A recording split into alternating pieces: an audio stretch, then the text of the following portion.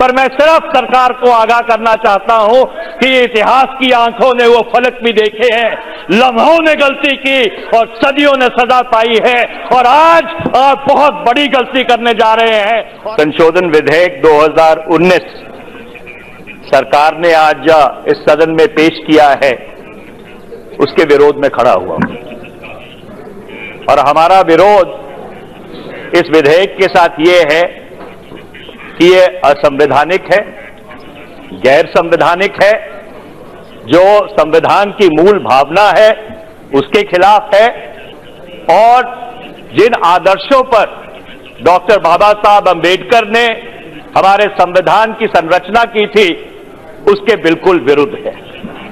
मैं, क्योंकि समय कम है, नहीं तो नागरिका का नाग, नागरिक नागरिकता का सिद्धांत कहाँ से शुरू हुआ? मैं वहाँ से अपनी बात शुरू करता। बहुत वर्ष पहले जब यूनान में गणराज्य होया हुआ करते थे तब वहाँ पे नागरिका नागरिकता का सिद्धांत उत्पन्न हुआ। उसके बाद जब 1648 में वेस्टफेलिया की संधि हुई तो ये नागरिकता का जो कॉन्सेप्ट था, इसके ऊपर अमली जामा पहनाया गया। वक्त बदलता गया। जो सत्ता थी, वो राजाओं के हाथ से, जनता के हाथ में गई। और उन्नीस सौ सैंतालीस में, जब भारत आज़ाद हुआ, जब अंग्रेज़ी साम्राज्यवादों को यहाँ से भगाया तो भारत की जो संविधान सभा है उसने संविधान की संरचना के ऊपर अपनी चर्चा आरंभ की। अध्यक्ष जी 10 अगस्त उन्नीस सौ उनचास को 10 अगस्त 1949 डॉक्टर बाबा साहब अंबेडकर उस संविधान सभा में बोलते हुए उन्होंने कहा except one other article in the draft constitution, I do not think that any other article has given the drafting committee such a headache as this particular article. वो नागरिकता के जो धाराएँ थी, उनका ज़िक्र कर रहे थे और उन्होंने ये बात इसलिए कही क्योंकि नागरिकता एक बहुत संवेदनशील मुद्दा है और उस समय भारत की, भारत के संविधान के निर्माताओं ने यह बात तय की कि नागरिकता के दो आधार होंगे। पहला आधार भूगोलिक और दूसरा आधार खून के रिश्तों के ऊपर आधारित होगा। धारा पाँच से लेकर ग्यारह को भारत के संविधान में शामिल किया गया। उसके बाद 1955 में नागरिकता का कानून बना और उसमें यह बात तय की गई सुनिश्चित की गई कि नागरिकता के चार मापदंड होंगे। सब सबसे पहले जन्म, दूसरा डिसेंट, तीसरा पंजीकरण और चौथा नेचुरलाइजेशन और उसके बाद 2019 तक उस कानून को आठ बार संशोधित किया गया। पर जितनी उत्तेजना इस संशोधन को लेकर पूरे देश में देखने को मिल रही है वो आज से पहले कभी नहीं दिखी। और उसका कारण ये है कि अध्यक्ष जी ये जो विधेयक लाया गया है ये धारा 14, धारा 15, धारा 21, धारा 25 और 26 जो संविधान की है उसके बिल्कुल खिलाफ है। और मैं आज सुबह गृह मंत्री जी ने धारा चौदह को पढ़ा था मैं दोबारा से एक बार पढ़ना चाहता हूँ।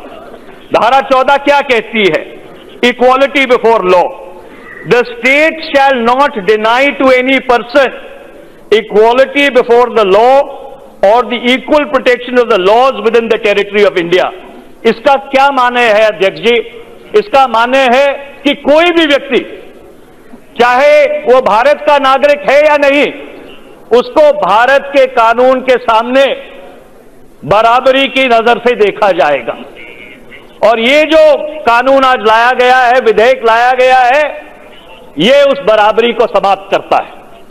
इसी तरह से अगर आप धारा पंद्रह को देखें, धारा पंद्रह में ये कहा है the state shall not discriminate against any citizen on ground only of religion race caste sex place of birth और एनी ऑफ़ देम इसका क्या मतलब हुआ, अध्यक्ष जी? इसका यह मतलब हुआ कि आप किसी नागरिक के साथ धर्म, जात या समुदाय को लेकर भेदभाव नहीं करेंगे। मैं एक बुनियादी प्रश्न पूछना चाहता हूँ। जब आप किसी नागरिक के साथ भेदभाव नहीं कर सकते तो क्या आप नागरिकता देने पर भी भेदभाव कर सकते हैं?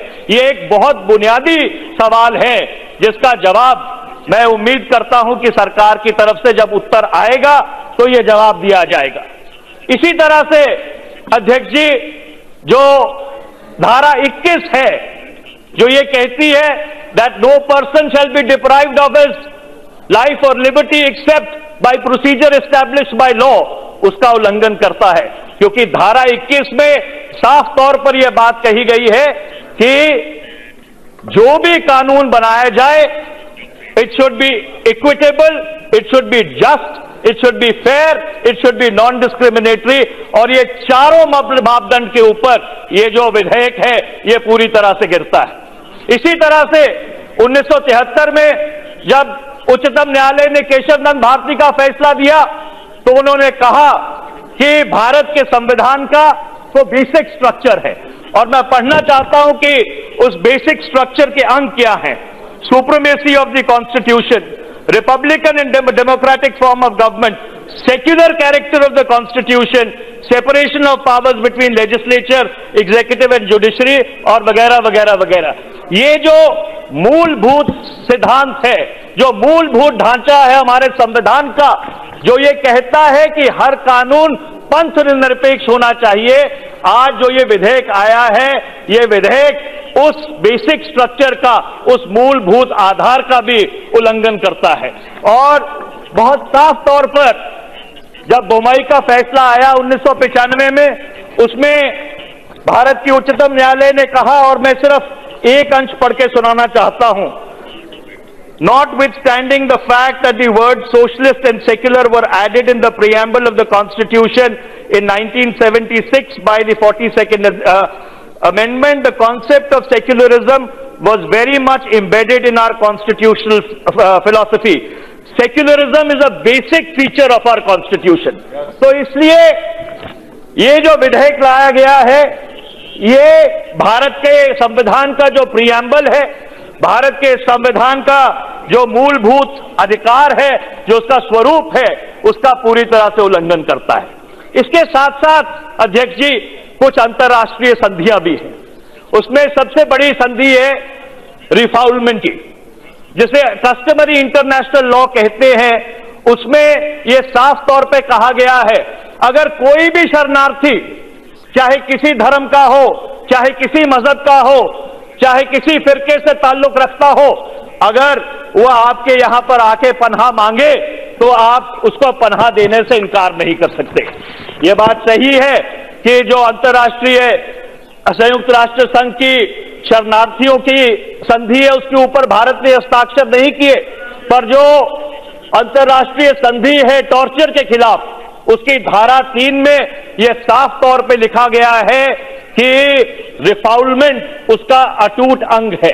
और इसलिए जब भी कोई शरणार्थी भारत आता है, हमारी शरण माँगता है तो हमको यह नहीं देखना कि उसका धर्म क्या है। उसका मज़हब क्या है? उसका फिरका क्या है? अगर वो मानवीय कारणों से आकर हमसे शरण माँगता है तो ये हमारा ये हमारा कर्तव्य बनता है जिम्मेवारी बनती है क्योंकि हमने उस अंतर्राष्ट्रीय संधि के ऊपर हस्ताक्षर किया है कि हम उसको रेटिफाई नहीं किया होम, होम मिनिस्टर साहब साइन किया है। रेटिफाई नहीं किया साइन किया है। तो हमने रेटिफाइड नहीं किया। है गृह मंत्री जी इस देश ने रेटिफाइड नहीं ग्रे, किया है। सदन में रिकॉर्ड क्लियर रहना चाहिए। गृह गृह मंत्री जी जो कस्टमरी इंटरनेशनल लॉ है उसको रेटिफाई करने की ज़रूरत नहीं है। क्योंकि जो इंटरनेशनल कॉवनेंट ऑफ़ सिविल और पॉलिटिकल राइट्स है जिसके ऊपर आपने हस्ताक्षर किए हैं रिफाउलमेंट उसका अटूट अंग है। तो चाहे आपने उसको रेटिफाई किया है या नहीं किया है उसका कोई मतलब नहीं बनता क्योंकि आपने इंटरनेशनल कॉवनेंट ऑफ़ सिविल और पॉलिटिकल राइट्स को रेटिफाई किया है जिसमें रिफॉल्वमेंट साफ़ तौर पर लिखा गया है। तो रेटिफिकेशन की प्रक्रिया क्यों रखी है? अगर रेटिफिकेशन की ज़रूरत नहीं है तो प्रक्रिया क्यों रखी गई गृह मंत्री जी आपने इंटरनेशनल कॉवनेंट ऑफ़ सिविल और पॉलिटिकल राइट्स रेटिफाई किया है कि नहीं किया है? मैं आपसे सीधा सवाल पूछना चाहता हूँ। अगर किया है तो रिफाउलमेंट उसका अटूट अंग है। है। मैं आपको दिखा दूँगा। मैं आपको दिखा दूँगा। अध्यक्ष जी अध्यक्ष जी और ये बहुत ही एक विचित्र कानून है। ये बहुत ही मीनाक्षी जी, जब आपकी बारी आएगी, बोल लीजिएगा ये एक बहुत ही विचित्र कानून है। अध्यक्ष जी, बांग्लादेश के लिए एक कानून और नेपाल और भूटान के लिए दूसरा कानून, अफ़गानिस्तान के लिए एक कानून मॉलडीव्स के लिए दूसरा कानून, ये का, श्रीलंका के लिए एक और कानून। मैं ये पूछना चाहता हूँ स्टेटमेंट ऑफ़ ऑब्जेक्शन रीजंस में लिखा है कि जिन तीनों देशों का ज़िक्र किया गया है, उनका जो राजधर्म है, वो इस्लाम है। मैं आपसे ये पूछना चाहता हूँ कि मॉलडीव का राजधर्म क्या है? क्या चैप्टर टेन आर्टिकल टेन जो मॉलडीव की का संविधान है, उसमें यह नहीं लिखा गया कि उनका आपका राजधर्म उनका राजधर्म इस्लाम है? तो इसलिए इस बिल में पूरी तरह से विरोधाभास है और इसको दोबारा से देखने की ज़रूरत है। आज गृह मंत्री जी ने यह कहा कि यह बिल धारा 14 का जो रीजनेबल क्लासिफिकेशन है, उसके ऊपर खरा उतरता है। मैं अध्यक्ष जी, ये बताना चाहता हूँ कि रीजनेबल क्लासिफिकेशन का आधार क्या है? रीजनेबल क्लासिफिकेशन का आधार यह है कि इक्वल्स के not be treated as unequals और इसका ये क्या मतलब है?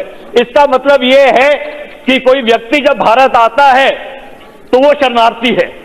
तो उसमें आप ये नहीं देख सकते कि ये शरणार्थी एक धर्म का है या दूसरे धर्म का है। जब वो शरणार्थी है तो ये आपका फ़र्ज़ बनता है कि उसको बराबरी का दर्जा दिया जाए और उसको बराबरी की नज़र से देखा जाए।